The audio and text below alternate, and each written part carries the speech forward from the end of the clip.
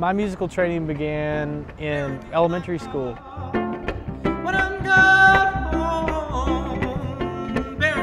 My orchestra teacher brought in all the different instruments and one of them was the cello. She bowed it and it honked a little bit. I was like, yes, I've got to play that instrument.